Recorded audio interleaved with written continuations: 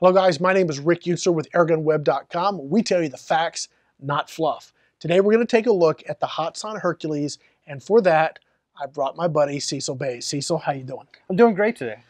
Now, you have been shooting the dickens out of this gun, right? This is end all be all my favorite big bore right now. That is there we go. And uh, you've shot a bunch. I mean, we've got a hundred some guns in the shop that we go through, and uh, I'm thinking if you had to grab one and go, and you had to either plink and have fun or put food on the table, this is this would be my choice right here, definitely. well, that says a lot, and we're going to talk about why this gun is so great. We'll be right back. Stay with us.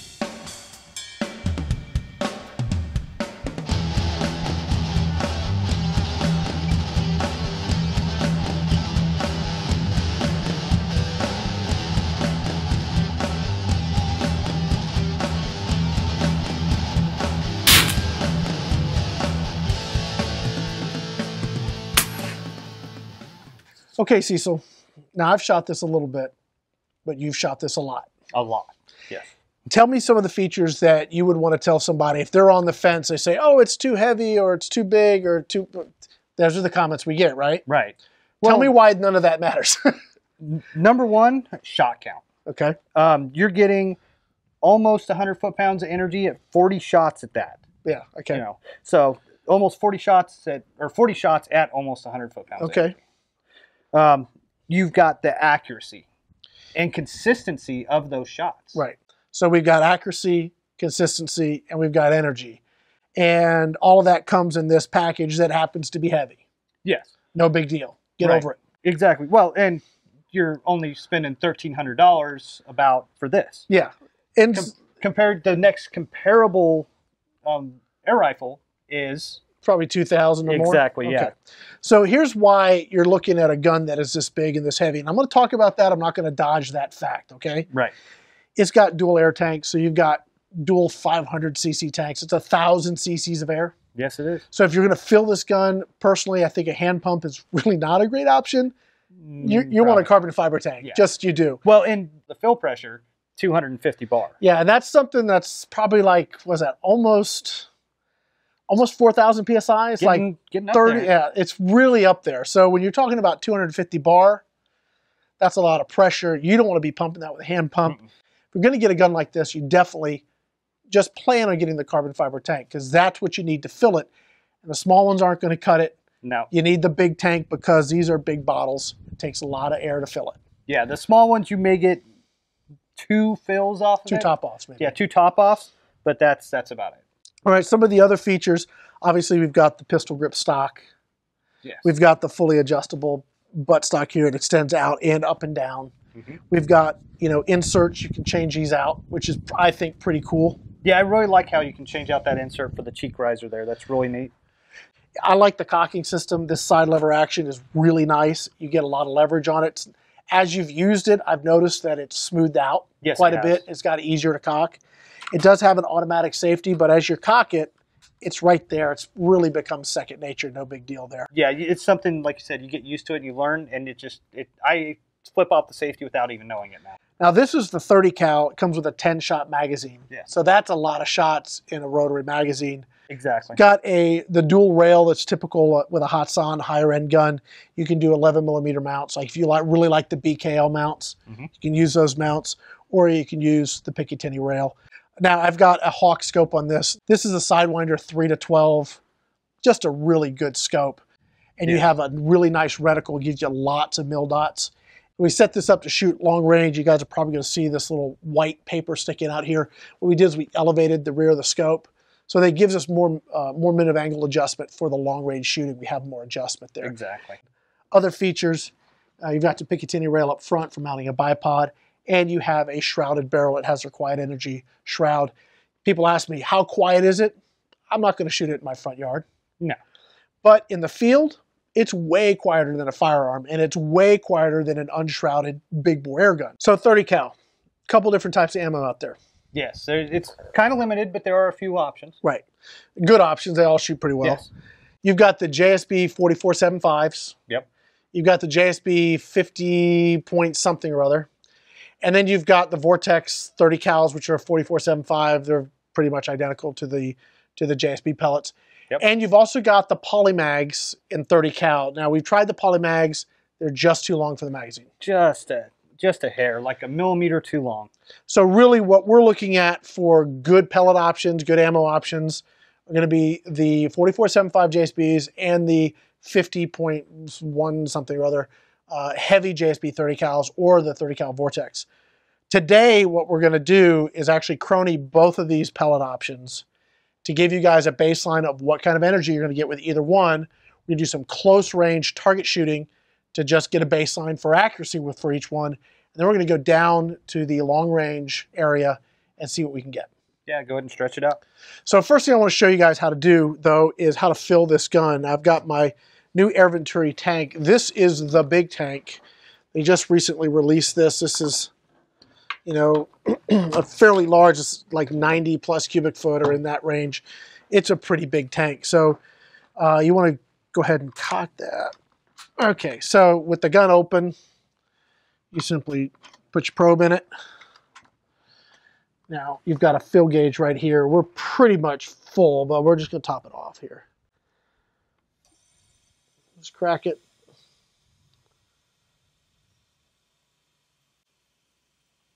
And that's it. Okay. So that's all topped off, ready to go. Now, from a full fill, you're say you're getting some 40 shots. 40 shots. Yep. Okay, so 40, that's 40 consistent shots before you start to kind of drop off the curve. You get more shots than that, though. You can Yeah. get more shots, but you will see a, a drop in your point of impact. So if you don't mind, I'll go ahead and load this thing up here, Cecil, Yeah, show folks how to do it. So you open the, the latch, you pull it out. You want to start with the heavies? Start with the heavies? so. Yeah, let's start with the heavies because you've All been shooting the. Yeah, we have been shooting the 4475s quite a bit. All right, so these are the heavies, and just so we know for sure, the weight is, I was right, 50.1 something, 50.15. Okay. There you go. So you got a 10 shot mag. There's a couple O-rings in here that hold your pellets in place. Just run these through here. Okay. It goes right back in there, right? Yep. It's not dissimilar from the other Hatsan Like the. Galatians. the Galatians or even the AT44s, it's the- you load them the same, they have the same kind of appearance. Yep. Um, one thing that you will notice is that it sits out a little bit further because of the bigger pellets and everything. Okay. Um, but Yep. other than that, What I like to do is rotate it, make sure you get that click sound Mhm. Before you try and shut the shut the bolt yes. or the cocking arm. Now you're good to go. This gun's ready to roll. It is on safe. So you'd flip it to fire and shoot. So now, chrony time. Yes. We'll be right back. We're going to get the chrony set up. Stay with us.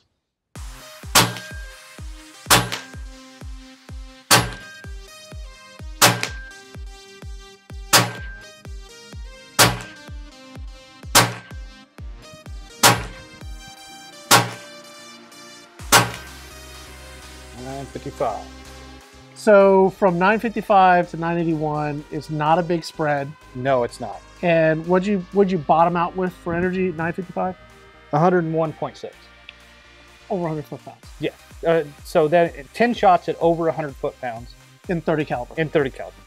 All right, these are the 4475s. Here we go.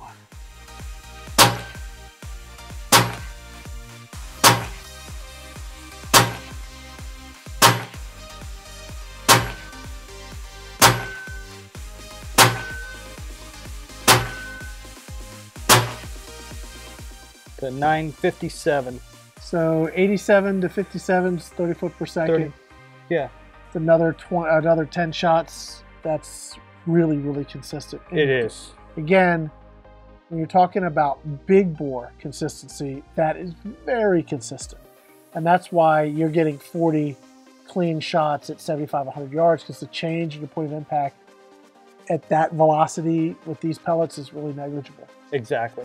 You shoot the lighter pellets, you're in that good 90 foot pound area. You shoot the heavy pellets, and you're over 100 foot pounds. So Yeah. we know that now. Now we're going to see how they shoot for accuracy. Stay with us. We'll be right back. All right, Cecil, it's about right that we go to shoot and the wind picks up. Yeah, that's normal. well, that's why I'm letting you shoot. exactly. Yes, this is with the fifty point one five grain. Okay, go for it.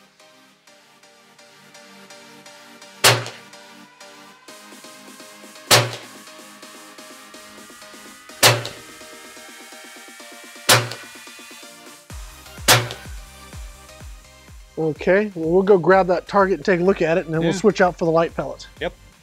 All right, Cecil, so you've got five shots now, the light pellets. Yeah, the four four seven fives. All right, well, as light as light gets, right? There Yeah. we.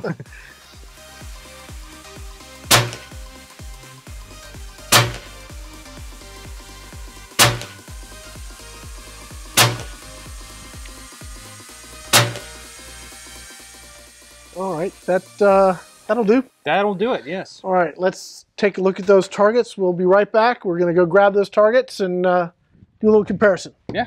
All right, we've got a couple targets here, Cecil. Yes, we do. This is the light pellet, Yes, the forty four seven five. and that is the heavy, This is the heavy. Yes.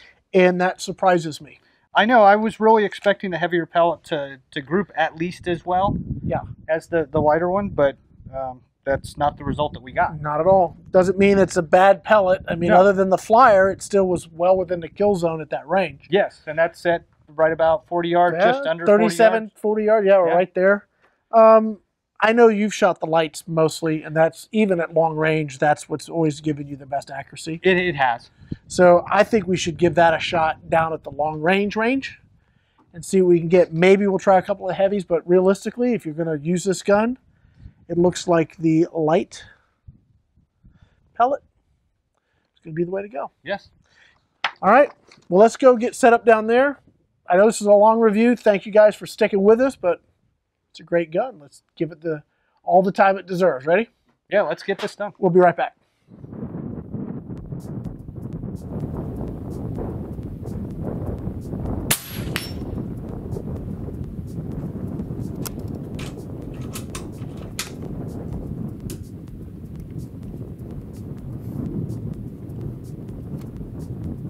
Clear.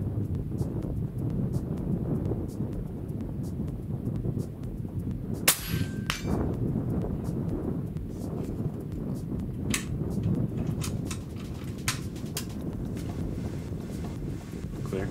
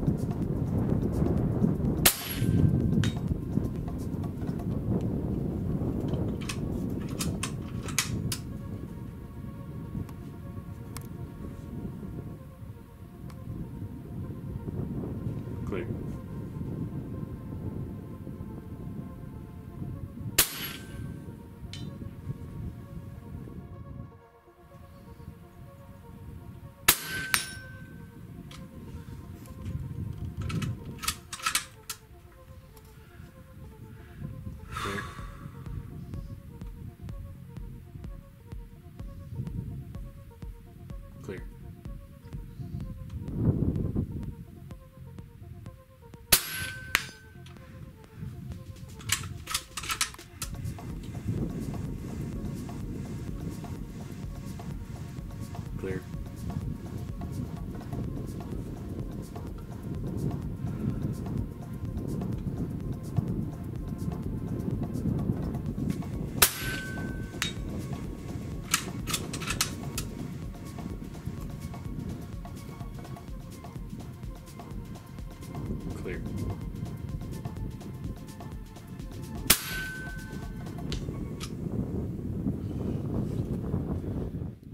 Well, Cecil, it's time to wrap this up. Yes, it is. Uh, we got to shoot long range. Yes, we did. And we did it well. I can't tell you how impressed I am with this gun. I have been wanting to shoot down here long range for the longest time. We actually got special permission from Lake Havasu City Sportsman's Club to come use the 300 yard range, which is technically a center fire only. But when I told them what we were trying to do, of course, they said air guns, 200, 300 yards. You got to be kidding me. I said, well, let's see what happens. Yeah. And this gun is unbelievably consistent. We're shooting half scale CMP silhouettes, which is like what you'd use in the lasso competition. And we set up to 200 yards just to see what we could do. We went from 75, 100, 150, and 200, right? Yep. And uh, yeah, you can run the course, just one shot each target. You don't need multiple shots because it is that good. Right. And both of us did it. Yeah, I mean, it just sat down and we used ChairGun with the Hawke scope, with the reticle. Yep. Uh, we have all our data in there. It tells you exactly where to aim, and it was absolutely on the money. Yes, it was. It was, I, I mean, it was really impressive. Uh, I can see why you like this gun so much, man. It's just awesome. It consistency is undervalued in the market. What was also cool, and you brought this up when we were talking after, was that we didn't have to top it off after each time. I mean, you sat down and shot it, I sat down and shot it. We're running off the same fill. It doesn't matter. You just go shoot it. Yeah, it isn't like you top it off, get five shots, then you have to top it off again. No. No, you get consistent for 40 shots. Yeah, I'm I'm very very impressed, guys. This gun is awesome. I understand it may not be for everybody. Well, that's just the way things go. But if mm-hmm. you want a powerful gun with a lot of shots in incredible range and accuracy, this is the one for an air gun. It's unbelievable. I love it. Yes. this is definitely, definitely my favorite big bore air gun right now. All right, guys, I want to thank Pyramyd Air for sponsoring this review. Of course, Hatsan USA for providing the Hercules for this review, and Hawke Optics for setting us up with the, the great scope and the binoculars and other gear they gave us. Um, Cecil, I guess that's about it. Yeah, that, you know, we could talk great things about this gun all day long, but that's yeah. Let's wrap it up. yeah, My name. I want to shoot some more. yeah, all right. My name is Rick Eutsler with Airgun Web. And I'm Cecil Basie Air Gun Scout. Remember, when you're looking for real world airgun reviews, think Airgun Web. We tell you the facts, not fluff. Thanks for watching.